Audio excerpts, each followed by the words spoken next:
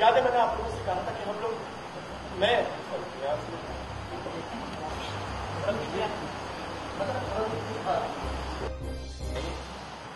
मेरी ऑफ़िस का लोग याद है पिछली जब मैं औरंगाबाद तो मेरी ऑफ़िस में जो है एक प्लांट लगाने की कोशिश की हाँ मेरी ऑफ़िस का लोग। मेरे जी वो मेरा मेरे ऑफ़िस का लोग। याद रश्मि जब मैं ऑर्डर औरंगाबाद तो हमारी कंपनी ने प्लान सेटअप किया था। तो हमारी कंपनी ने लोन उठाया था एक प्राइवेट फॉर्म से। लोन की इंटरेस्ट इतना ज़्यादा इतना ज़्यादा था कि हमारी कंपनी झेल नहीं पा रही। तो मैंने आइडिया मैंने आइडिया दिया कि हम लोग एक और कंपनी के साथ कोलैबोरेट करें। अब जाकर एक इंटरनेशनल कंपनी जो है कोलैबोरेशन में आई याद है मैंने आप लोगों से कहा था कि हम लोग, मैं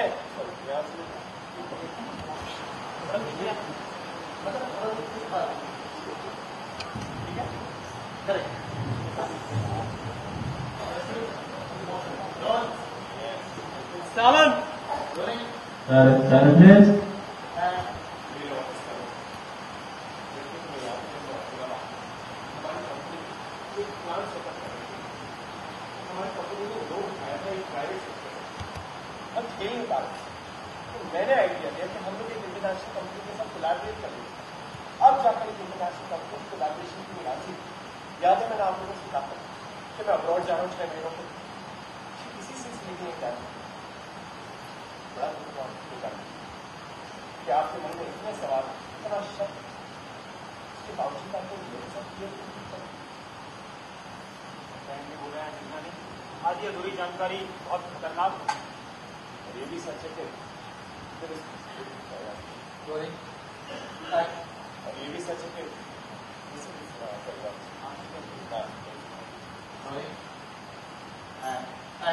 और फिर और फिर आदमी का इंप्रेशन उसकी सच्चाई से ज़्यादा बेहतर होता है और ये भी सच है कि वो इंसान कितनी भी कोशिश करे अपने इमेज को साफ़ रखने की लोग हमेशा से गलत ही समझते हैं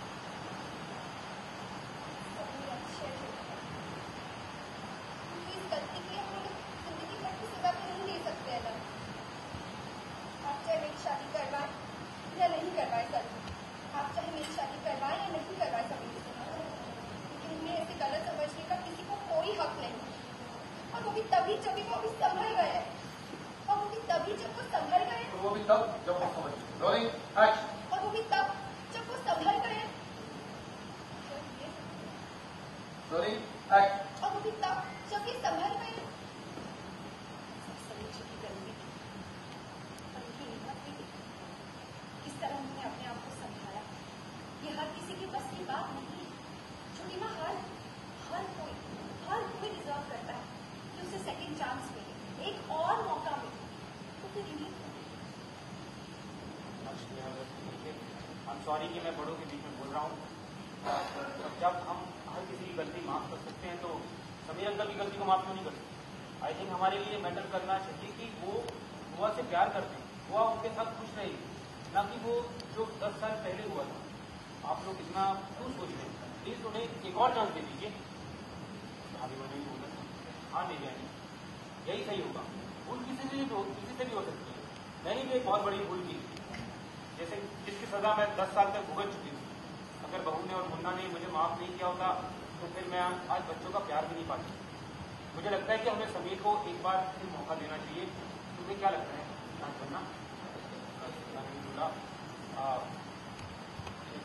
राष्ट्रीय में बोल के मुझे माफ़ कर दीजिए। गलत समझा मैंने आपको। ऐसा मत हो जाए माँ बाप अपने बच्चों के कपड़े तक छूने जाता है तो दस बार देखता है कि कहीं वो कपड़ा बच्चे को छुए तो ये तो लाइफ पार्टनर की बात है।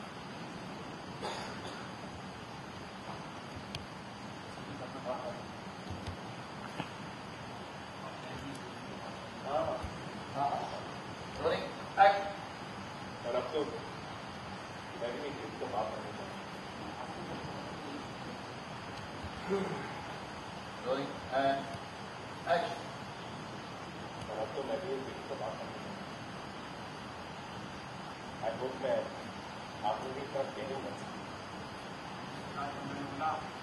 की पंडित जी आए क्यों नहीं लो उन्हें सगाई की शुरू करते हैं अरे पंडित जी तो नहीं लेट आएँगे, मैंने फ़ोन करके उनको बोल दिया है ताकि सगाई लेट हो जाए। आपने देखा अरे इतना सारा प्रॉब्लम था तो पहले ही मेरी कर ली। हमें यहाँ क्यों बुलाया हमारी बेइज्जती करने के लिए। आगे आइए आप लोग एंड में गए। नहीं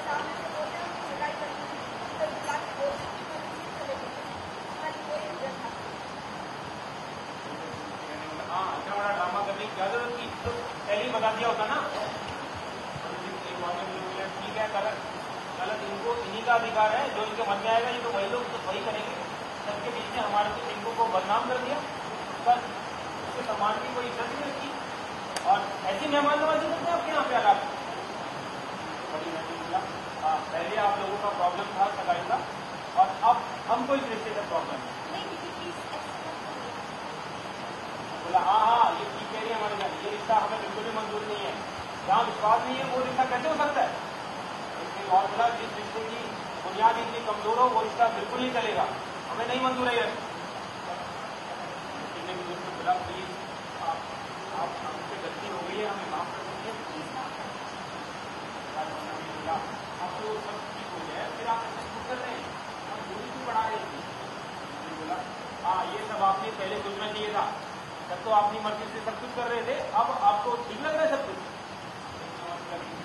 हाँ, लेकिन अब वो हमको ठीक नहीं इसलिए हम कर सकते